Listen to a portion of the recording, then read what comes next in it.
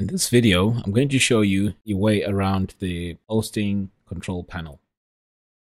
Okay, so after you've registered for your hosting account, HostGator will send you a few emails. One of them will have a link to log into your control panel. But I'm going to show you a quick way to log into your hosting panel because the link is very difficult to memorize. So what I do is I normally type in my main domain name.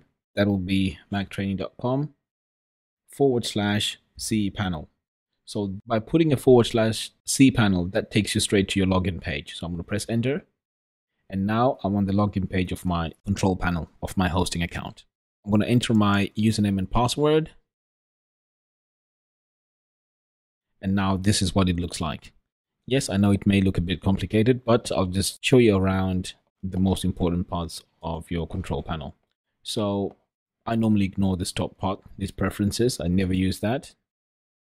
This is where you set up your email accounts. So you'd go into um, email accounts and then you can set your email accounts for your domains that you're hosting on your server. I don't use SEO and marketing tools at all. And this is uh, used for manually uploading files to your server.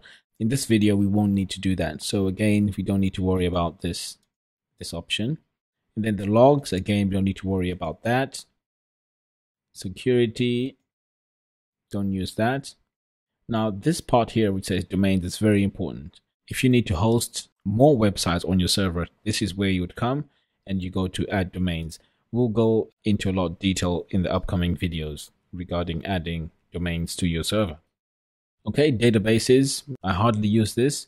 But this is where if you want to take a look at your databases for your server or make a few changes or even download the database, you would use PHP MyAdmin.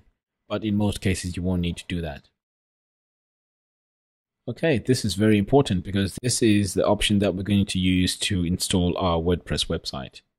So I would use quick install. And then this advanced, I've never used this before, so you don't need to worry about that. Okay, so these are the main sections that you need to use. Um, the software and services, domains, and also mail. In the next video, I'll show you how to point your name servers. Thank you for watching.